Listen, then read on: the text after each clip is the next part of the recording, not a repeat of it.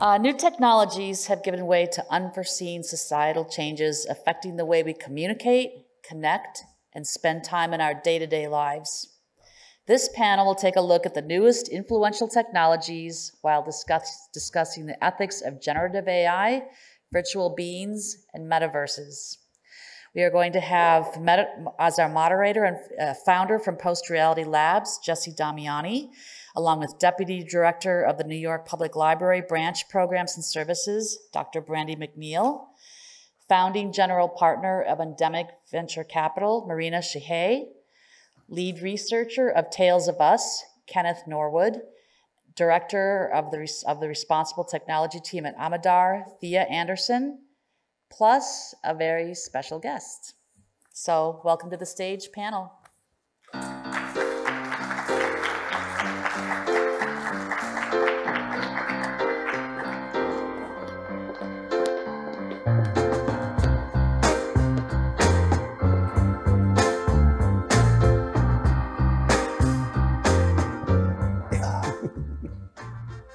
Hello, everyone. Um, thank you for being here. Thank you to Games for Change. Thrilled to be here on the 20th anniversary of a really wonderful organization. Um, today, we have a really uh, great panel for you called Brave New World or Better New World, which is um, a sort of a fun way of kind of getting at some ethics and first principles um, when we're looking at these uh, emerging technologies that sort of manifest as buzzwords and takes and all these different sort of hmm. competing opinions. Um, and so we have four really esteemed humans and, and one uh, much, much discussed uh, large language model um, who are going to be kind of weighing in on, on these issues. Um, my name is Jesse Damiani. I'm a writer and a curator, um, arts and culture advisor of an organization called Protocol Labs, which if you've seen Silicon Valley, the whole build a better internet thing is kind of based on Protocol Labs. So that's kind of more or less what Protocol Labs does.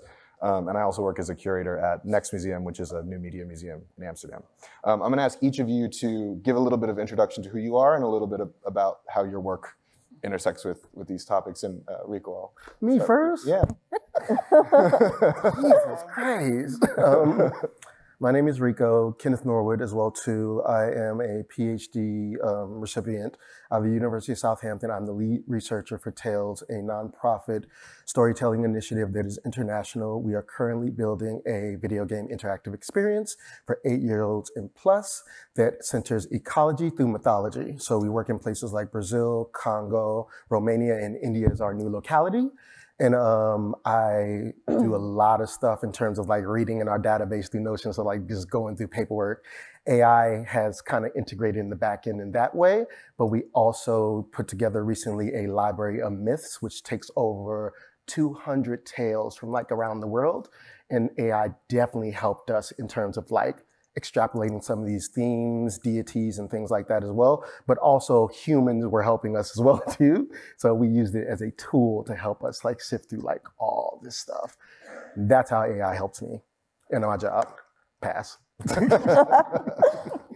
Good morning, Sagitamu. My name is Mahrinah Shije. Uh, my family comes from the Pueblo of San Ildefonso, and I'm married into the Pueblo of Zia in northern New Mexico. Um, I've been in tech for about 20 years in all sorts of capacities. Right now, I serve as a general partner to Endemic Venture Capital, which is a venture studio building indigenous-led climate tech and tribal gaming future products. Um, I also serve as a special advisor to President Fawn Sharp with the World Economic Forum, looking at the future for indigenous peoples as well as um, lots of work with the UN and tech policy. You know, what happens when AI goes rogue? What do we do with killer drones as, as humanity? um, and looking at uh, that also under what what happens through um, our tri sovereign tribal nations. So thank you, and on to the next. Okay, I'm Dr. Brandy McNeil. I am the Deputy Director for the New York Public Library. Um, I've also been on the Public Library Association's board. I just got done doing that. Um, I'm also a writer, and the way in which libraries show up in this space is through lifelong learning. That has been a mission of most libraries across the US. And so we do that in a variety of different ways. So when I think of what we do at the New York Public Library, we have programs such as Project Code. Project Code has been able to partner with large giants such as Google and Microsoft and uh, MIT. And so we have been able to create ways in which we can ensure that marginalized communities are not left behind in this tech space. We do things like tech talks, where we bring in people who are creating NFTs that look like the people that come into our libraries. We also have partnered with Apple to create app development programs. And we just recently had a hackathon, and that hackathon was about really helping um, people who have disabilities. And so people were creating apps that would help people with disabilities. So that's some of the work we do.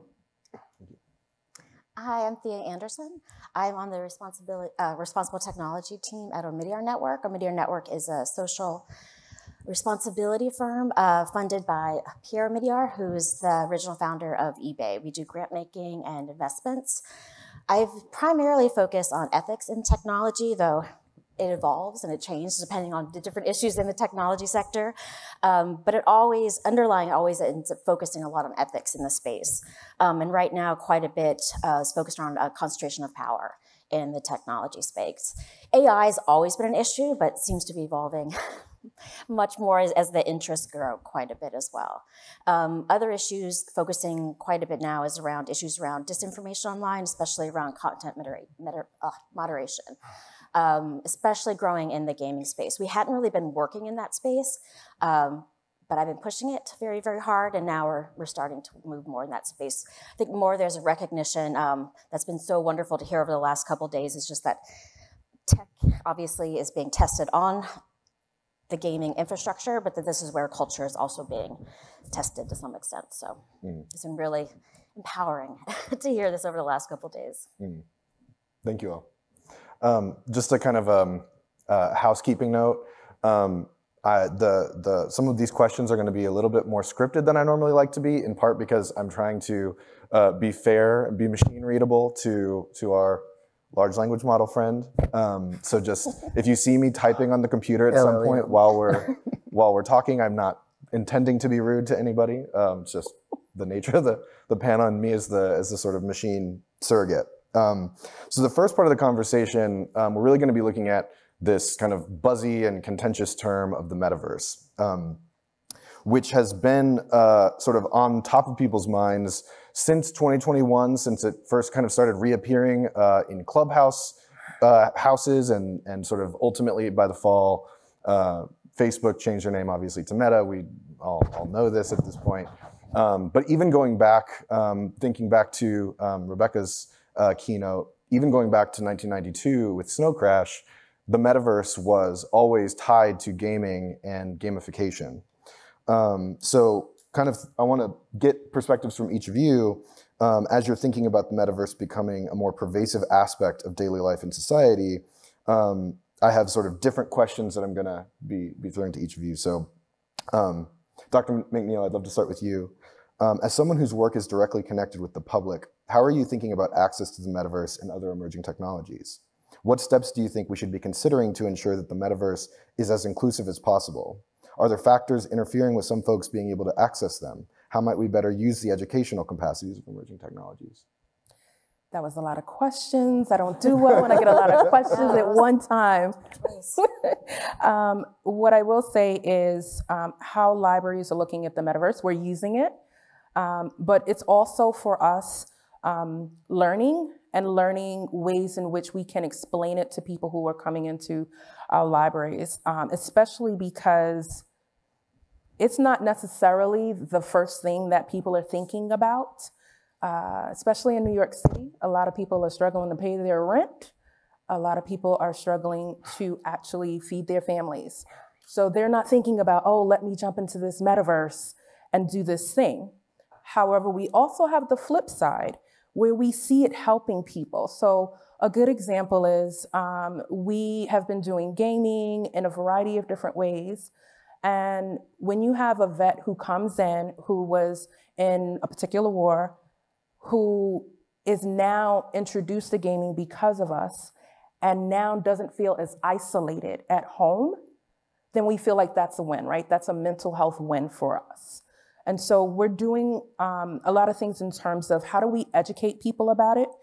How do we show them what the uses are of it? But we also need to show them the pros and cons, right? That misinformation is a huge part of being able to explain to people what is it, how do you stay safe in this environment? And so that's some of what we've been doing in that space. Amazing, thank you. Um, Mahrinah, you've referenced the importance of cyber sovereignty. And by the way, with these questions, answer the parts that, that you want. We'll see how ChatGPT responds. Um, you, uh, you've referenced the importance of cyber sovereignty in the indigenous metaverse. Can you share a bit about those and your work on both? How are you thinking about relationships to and with technologies in ways that avoid digital colonization, preserve indigenous IP, and foster non-Western perspectives, values, and stories? Gosh, that's a broad question. a series of questions. Um, so first of all, I, I do have an afternoon talk that I'm going to be talking a little bit deeper on cyber sovereignty. But the idea that indigenous nations here in the US and in Canada and in many other countries um, have independent sovereignty um, we're able to assert those rights into cyberspace and necessitate government to government relationships, negotiate cyber treaties, create our regulatory environments, um, and look at things from our own people centered and, and, healthy perspective as opposed to like a, a corporate and consumer centered perspective, which we have um, here in the US. And so that is really critical for us to develop technologies that you know reflect our worldview and our perspective um, the easiest way that I, I, like to talk about, you know, what Indigenous culture is, is that we're relational people to each other, to time and space and place, and it's very difficult to synthesize that with a Western worldview. So right now, you know, technology looks one way and interacts one way, but as that grows, you know, in adoption and um, development from Indigenous peoples, we're going to see very radically different ways to interact with that. Um, and one, one of the things that I always like to reference is, you know, how language shapes the world around us and our perceptions of it. Um, an example of this in, in my Tewa language is um, the way that we talk about our younger siblings. The word is tiu, which means seed. It's the same word as seed. And we have this beautiful relationship with farming and like how we interact with our foodways. And also like understanding that, you know, we have that responsibility to each other to nourish and grow and, you know, help. Um, and that's not there when we speak English or you know some of these other languages. So um, when we're crafting that metaverse, when we're interacting with culture, you know, it, there's ways to help bring people who you know were not immersed in that worldview into you know perceiving the world the way that we do, and then also having access to some some of the the, the more public there's a, uh, something called the cultural iceberg theory, right, where you see the top of the iceberg, but it's like very deep, and um, you know we can we can share some of that without being very explicit, and I think that's really beautiful. Um, we can also use this to power our tribal nations economically, and do so in a way that's remote that keeps our people close. Um, and one of the things that I'm exploring with my venture firm um, which everything is very proof of concept right now. And I'm, I'm very lucky to live at a time where I can do that. And one of the things that we're working on is making sure that anything that's cultural intellectual property is not, is, is known that it is a, a cultural ownership, right? It's owned by, by our, our past generations and our future generations. And that's not something that is saleable. It's not something to be taken. Um, and that's really concerning also when we talk about, you know, chat GPT and, you know, the evolutions of AI scraping data, because if we are protective of that, that cultural ownership, and even if we create guidelines around that, are we making sure that other people are abiding by those guidelines in an ethical way? Absolutely. Um, Rico, yeah. you've been a gamer since you were young. How does that impact your thinking about the metaverse? Being both an academic and a gamer, what perspectives do you think are important now that folks who weren't gamers before are taking an interest in the metaverse? Are there lessons or insights you could share, particularly regarding ethics and first principles? Um, you've spoken about not falling into techno determinism, for instance. Why is that important to you? Um, Yo, so like, I always start with the tagline that um, gamers have been in the metaverse before the metaverse was a thing.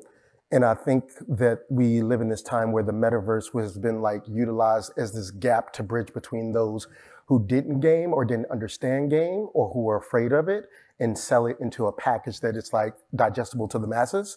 Like we have these talks where we think about the metaverse as this place that it's new. And like we were talking in background, like people have different definitions of like what the metaverse is. Yeah, because it's a video game and they just don't want to say it. And like, it's wild to me, kind of like when kids were in Penguin World, they were in the metaverse. Like when we are in Grand Theft Auto 5, we're in the metaverse. Like when I'm owning my nightclub and shipping my cocaine business in Grand Theft Auto 5, I'm in the metaverse. like all these things are happening. There's like actual exchange of finances there and stuff like that as well too. And I think it's a way to bridge the gap, but it's a very nefarious way to kind of like talk about something that's already existed. Because as you said, like people disappear in these like co-opting of these spaces as well too and then they forget about kind of like what was already there and then they repackage it as if it's something as well new but in terms of like the ethics and stuff like that i think it's something that is really like you know video gaming was a space for me to find not only safety but myself my gender journey my sexuality journey and like just like learn about the world and I think like when you're talking about the library and stuff like that, that's such a powerful thing to have in a modern. Because you know, when we went to the library, all we had was like art web like Paint 2.0, and that was about it. But to be able to go to the library and then connect with other people in the virtual realm that you know, like maybe we might not have the finances to have a swimming pool in our house or something like that. But hey, I can swim with you in this virtual place. And I think the connective aspect of that, like with our game and stuff like that as well too, connecting children from the Congo or connecting children from Brazil and things like that in World of Us, it's a value. I always like, it's a decolonial Roblox. Like I literally say that sometimes too. But like think about it, if Roblox was like this decolonial, anti-racist, like, you know, like indigenous centered space where people really went into and got understanding like these structural things about the world and cultural heritage and sharing and just learning, like this is like actually the benefits of like creating spaces like this in a digital realm versus you know like us doing zoom meetings in 3d with mark zuckerberg and like stuff like that as well too. But i mean like that's at least what i got from gaming in terms of like the metaverse conversation. And like what i think also is missing from it this need to make a common space for everybody to come to to have access to to trade and just to restart over from what we have right now so yeah. Love that. Thea, your work spans a range of different uh, areas under the umbrella of responsible technology, from encrypted messaging to the fair data economy to new creator economies. Some people cite the metaverse as an evolution of the web as a kind of shorthand. If there's truth to that, what do you see as priorities we should be considering across policy, enterprise, and investment? Yeah, I'm just building on what Rico was saying. Is even where I work, like some people use the word metaverse, some people don't, and I don't even really bother because again, it's, it's yeah, you spend a lot of time just like discussing it. So I think the way I would even even taking a step back, no matter if we use that term or not, I would say, you know, working for a philanthropy, what role should philanthropy even play at all in technology as well, like ethically? Um, so the way I look at it is there's rules, power, and ideas, right? And so potentially where should philanthropy engage? So in a sense of rules, thinking about checks and balances, thinking about governance, power, who makes the rules, and then potentially ideas, like who's actually thinking 20 years in advance, 50 years in advance. So when I think about issues around the metaverse, using that term exactly, like where like I'm directly supporting is a lot of like badass gaming attorneys who are focusing on issues around like IP. And again, they're ones, they're ones that potentially would not have invo involved in like what the web looks like today. So again, and ideas as well as, um, yeah, people that wouldn't necessarily even have, quite honestly, cash flow to necessarily be at conferences that wouldn't necessarily be at that. So some of it's at the very, very basic level. Um, but again, I think for me, it's more of ethics. Like, what role should philanthropy even be playing in a lot of these spaces, um, other than yeah, making sure the right people are where they need to be versus me being sitting at that table speaking for people. But, mm. Thank you. Um, if we could get the uh, screen up. Oh Jesus! Um, I uh, I started prompting, and I think. Uh, I might have to prompt it to be a little bit more uh, brief in its responses. um, but um, so I started with the overall framing with the metaverse um, and asked what um, ethical considerations we should consider. And um, what we can do is uh, we can make these available somewhere else. I'll, I'll talk to the Games for Change team so that we're not spending all of our time reading, but I'll just kind of blow through these these um, numbered these numbered sort of pieces. So privacy and data protect, protection, accessibility and inclusivity, digital ownership and intellectual property, digital addiction and mental health, online harassment and safety, uh, digital divide and economic inequality, virtual crime and security, algorithmic bias and AI ethics, regulation and governance, and, and environmental impact. Uh, and so I'll read its conclusion. In conclusion, the metaverse presents exciting possibilities for human interaction and experience, but it also brings forth a host of ethical challenges. By considering these first principles, we can work towards building an inclusive, secure, and responsible metaverse that enhances human life without compromising our values and well-being. How do we think about that? That was mm. nice. Diplomatic. Yeah. I mean, like I didn't see any gaming anything like that, and it literally as well too. And then like diversity talks kind of or, or inclusion or like, but equality is often conflated with equity as well Yep. too. So yeah, they might be talking about like equality in there, but sometimes we need to be talking about equity as well. Right. So um, nah, you need to do some more work. Yeah, Do some more homework. yeah, do some more homework, Chat GPT. Um, so I'm going to I'm going to let us sit with all that stuff, um, but not not do any more reading for the moment. Um, I also wanted to have us spend a little bit of time um, talking about this burst of uh, activity around generative AI.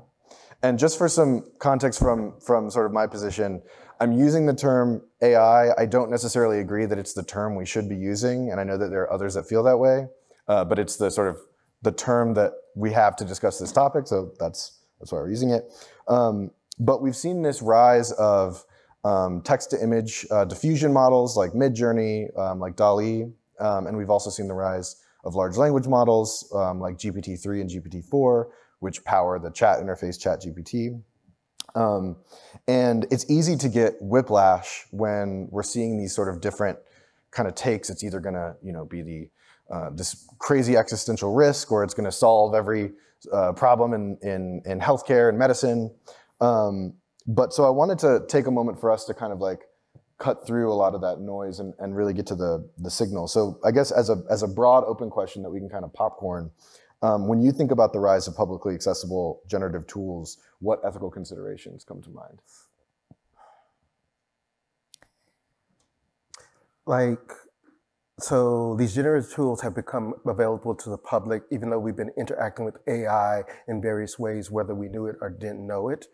I think that there is regulation that is needed when things go to extreme like deep fakes and stuff like that as well in terms of like taking somebody's image through collective stuff off the internet and literally like posing as them in online spaces. Um, and then it's like but that's me going to the extreme of humanity versus like the unextreme of humanity where literally chat gpt is used to spell check an email sometimes for people who may have like dyslexia like me or something like that. And then it's like you know the balance between the extreme and the non-extreme is where we need to kind of sweet spot when we talk about it i don't like to do a fear mongering kind of like not to say this is a fear mongering conversation but i don't like to start fear mongering conversations with um, generative ai because they did the same thing with video games in the 90s and they did the same thing with media in the 90s as well too like they're coming for our children da, da, da, da, da. the Hays code act is nothing but like them fear mongering people against like films and stuff like that. You know if you're in the bed with a woman make sure you have one foot on the ground. You know like these are things that history has repeated over and over and over again. And for some reason they always weaponize children in the middle of it. Like ai is coming for your kids. Like well no not all of them but you know like none of them hopefully as well too. But you know like, that presentation from yesterday. Um, no but like i think like you know we need to find a balance between regulations but also allowing people to be in creative spaces like this as well too. But also the fear of like it taking from creative people's jobs as well. Yep. you know like there's generative ai that people are relying upon to do work or do cgi graphics and stuff like that in the film industry and stuff like that and that's a very scary thing. I met um, one dude he used to carve and this was back when i was living in new york um, working in michael's framing art in chelsea on 23rd um, literally the hustle. Um, he used to carve cars for companies like out of clay, but eventually he didn't have a job anymore because eventually like stuff like 3D printing and 3D design came in. So how do we not use these tools to obsolesce human beings, but how would you use these tools to like, you know, like help and aid us? Because I mean, like, there's nothing replacing humans. Like, as much as we want to do that, workforce leaders, there's nothing that can literally replace us. We're so dynamic in so many ways. And the AI model, as you just kind of showed off, it can't be as dynamic as a human being can, if that makes sense. So just that balance between like regulations and freedom, mm. like that sweet spot is what I look for. Mm. So I agree. I think I think I'm caught in the middle of like it being great and it being horrible, right? And so when I think of the services that we offer at the library, right?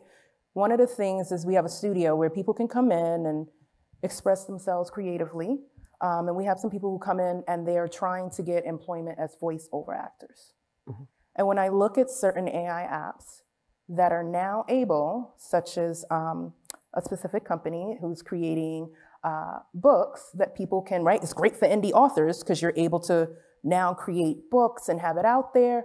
But then they also are embedding this audio model which once again is great. It means that more people will have access to books that they've never had.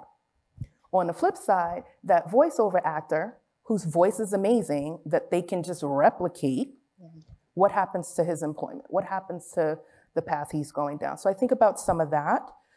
I also think about that whole equity lens, and I think that's part of what we are trying to instill and make sure does not happen to a lot of the communities that we see that come into our library systems because we know we have to explain to people so that that fear mongering that's happening hold on calm down. Let, let's let's kind of go through what this all means.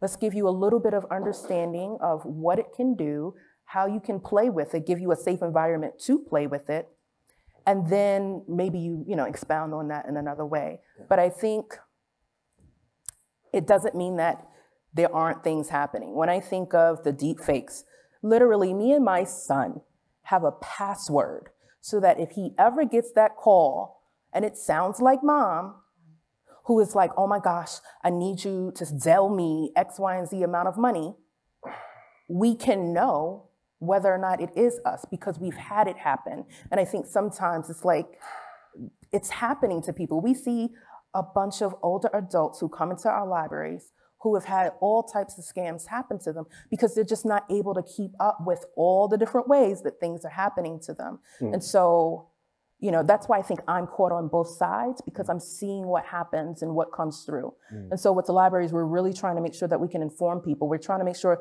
that with the equity lens, people aren't left out to be creators. You don't know what an NFT is? We'll tell you what it is. We'll tell you how you can create it. We'll give you digital art classes that help you to figure out how do you create that thing that you can put on so that you too, if you decide, I mean, you might not be able to afford it anymore, at least not in their eyes. Um, but if you wanted to buy real estate and you're like, you know what, I can't get the house over here anymore because that's unattainable, well, maybe I can get it in the metaverse. Mm. But if you don't know how to do that, that's why we have the library. um, Got libraries. So, so building on this, um, not only is there radical potential to exacerbate inequalities, but um, to reinforce stereotyping and perception bias. Mm. Um, like I've I've generated, you know, like like Pueblo women doing this, and you know, it spits out some just like nonsensical thing, like the things that we wear are very like culturally informed. They're very specific. They, they're very meaningful. And you know it's spitting out like random things. And you know if, if you're not in a in a culture or a community you might not know what those things are and you might not know the difference. Um, but it can create really challenging perception biases and also inappropriate things in that way. Um, but also looking at you know reviewing job applications or college applications or philanthropy right like like Native Americans get 0.2% of all philanthropic money, mm. right? So what is that AI going to do when they get an application from a Native American organization? It's going to automatically exclude because they don't give money to that, right? Mm. And so um, we run a lot of really big challenges in exacerbating social inequality, um, you know, financial inequality, all, all, of these things. But in addition to that, um, there's just a, an incredibly dark potential for the increasing of radicalization. And we've seen that online in the US, in our political systems. We've seen people storm our government buildings. And, um, you know, that is going to continue to get bigger and deeper. And we collectively need to not only invest in media literacy, but in, you know, policy guidelines that are you know healthier for for yeah. all of us and our young people who are you know maybe going into the metaverse just to play and then you know meeting somebody who's teaching them you know whatever perspective so mm. those are things that i think can i just add one thing onto that yes i agree i am mad at the barbie app filter mm. that oh literally oh would not keep my skin what yeah. i needed my skin to be so mm. just wanted to plug yeah. that yes yeah, I would just say a few things. Um, I mean, and again, I think I'm excited about lots of pieces, but again, it's that tension. I guess on the on the regulatory environment, I think my question is: there's a huge rush to regulate. It's like, well, my question is: are some of the laws that we already have? Let's are they sufficient? Because mm. some of them aren't. So it's like just adding more. I don't think is necessarily what we should be doing. EU, you know. So like that's I think that's one piece of it. Um, I think another thing too is again going back to concentration of power. There's a lot of huge companies that are just growing and growing and growing. Mm. Um, so again, one of the you know one of the things we also do, I think we're very lucky. I work at a foundation that can actually fund strategic litigation. So, for example, at Clearview AI, we're actually allowed we're funding them. We're funding actually a lawsuit against them in California, and we're using that um, with the California privacy law, consumer protection. I don't know if they'll win. It's actually it's again, um, the the plaintiffs are some uh, Black Lives Matter activists and a couple of other um, grassroots activists, again linked to the Clearview AI using surveillance and biometrics. Um, I don't know if they'll win, but the point of it is setting that precedent, and it's really to also test those laws. And I think more and more is going to be specific companies using AI. So again, part of it is also it's very early days, so I'm excited that we're able to do that. We're also starting to do that um, in the EU, and it's very much linked to issues around, um, um, I think building on what you were saying around um, automatic uh, wage discrimination as well. Because one thing I look at it too is that things are moving so fast and there's a lot of focus around like the output which is the data and there's not enough focus for lots of reasons like on the process which is like algorithm so again it's not just strategic uh, litigation, which is not always a solution, but if we can also, how do we stop some of that data being collected and take a step back? I think that also can be very useful. But again, that's very difficult um, to do quite mm. often. Do, do any of you, um, are there examples, like we've, we've referenced some of the examples, the Barbie app, Clearview AI, um, where maybe things have uh, gone in unethical or frustrating directions. Are there any examples that come to mind that you're currently seeing or have seen where generative AI has been used in a way that, that feels right and feels ethical and feels productive? Like, I can talk to it about in terms of like some of the work that we're doing at Tails in the background, especially like with the Library of Myths. So like I was saying, like it's like 200 myths from like all these localities that we're like shifting through with like different themes, mythologies, deities, like like all these characters and stuff like that. And of course, like people, some like a part of our team, they manually read through all of these in their native tongue and then like translation models as well too. But literally the database that they have put together, it allows us to go in and literally like filter through all these stories. So if I want to find a story that's based out of Congo that deals with like um, making over the world or something like that, or like how the sun was born or something like that, I can literally put it in the filtration system mm. and see it and it brings it to me, or other stories that are like that. Maybe I want something about like gender empowerment in this native story. Literally, it will put stories together from all these different localities so you can see the bonds that they actually have in them.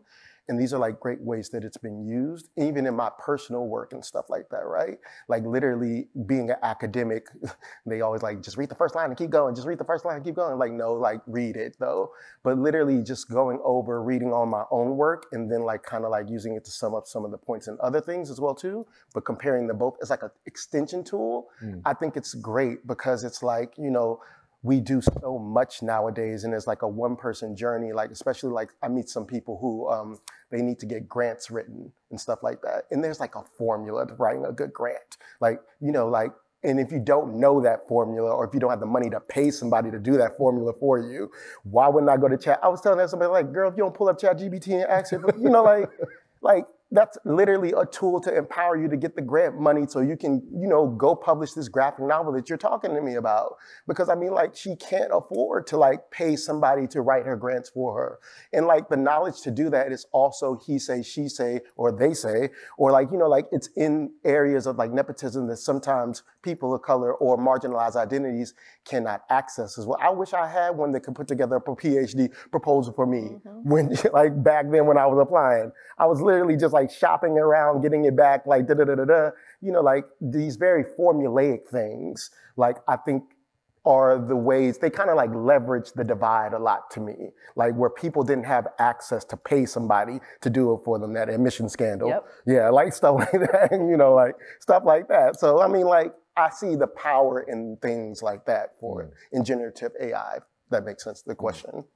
Yeah, I would even say within libraries, you know, one of our biggest challenges is that we have people coming from all over um, who speak various different languages. I mean, our ESOL programs alone can have over 51 countries in one class with 30 something languages, right? And so people have to navigate to get into the library, to get the services they need.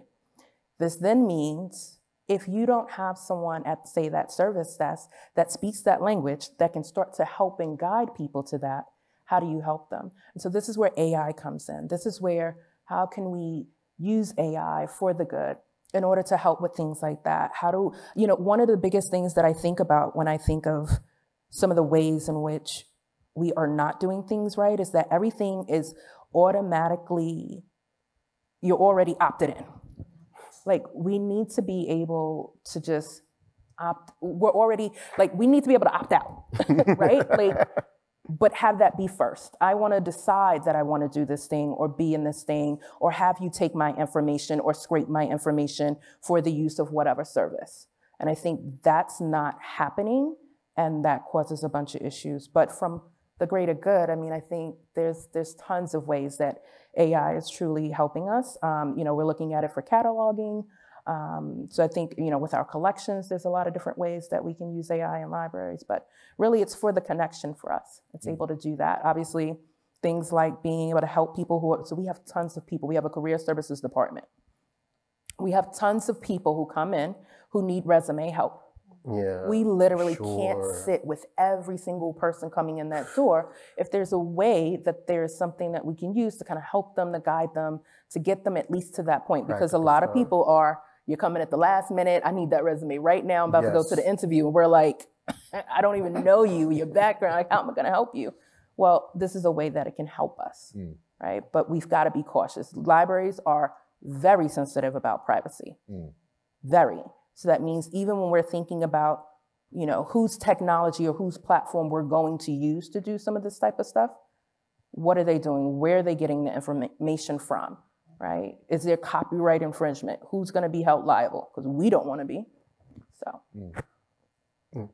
Um, so the the examples that I think of very prominently for me is one emphasizing what Rico had said about um, you know just making up for the fact that we're consistently under resourced in organizations and you know tribal governments. Like this this has made to me it, it has the potential to make tribal governments you know 10 times more effective because they just don't have the the HR capital right? Like we're still recovering from the human capital loss of colonization, and we, we probably will be forever.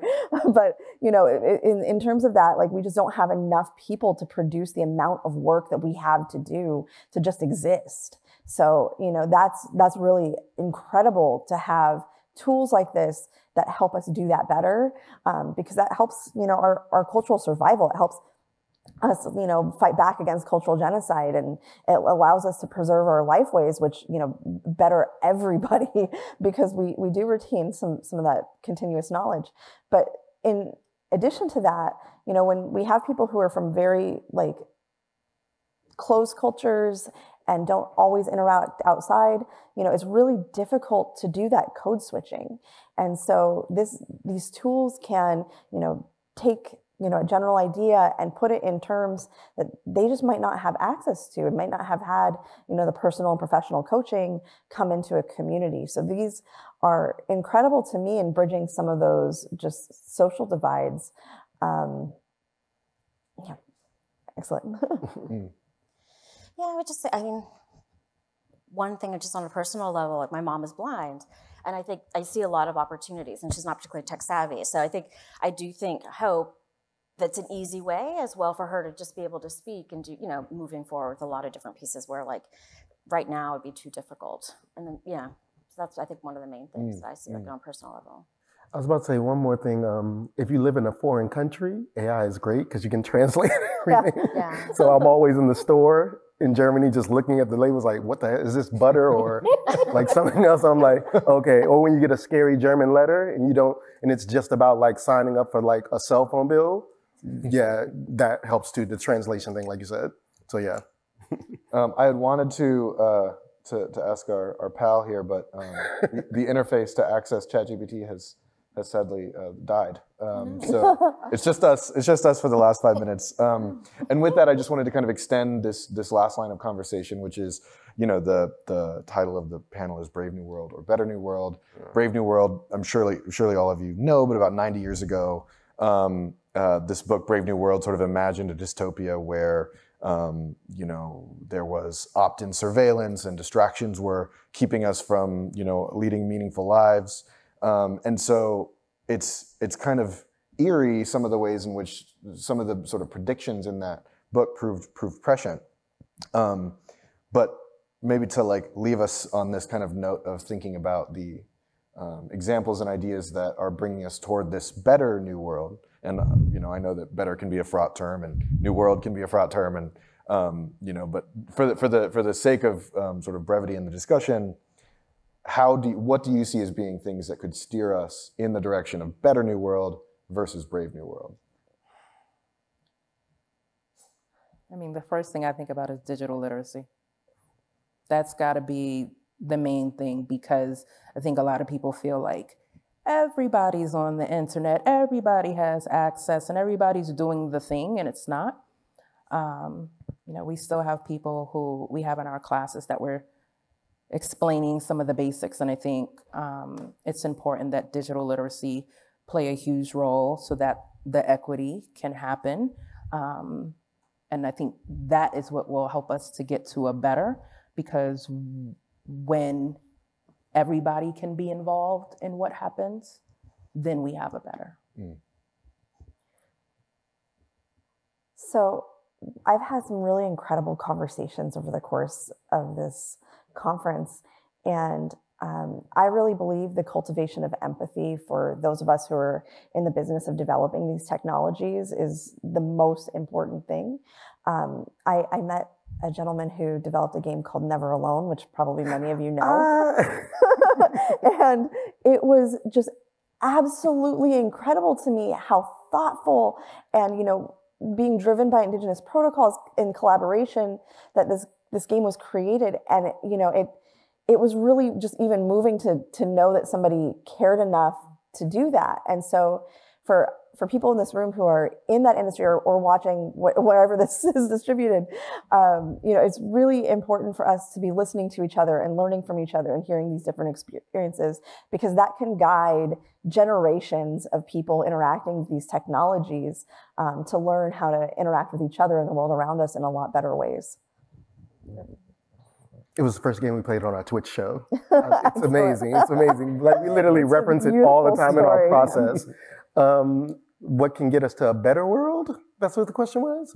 Um, not centering white folk in every conversation that we have um, as a start.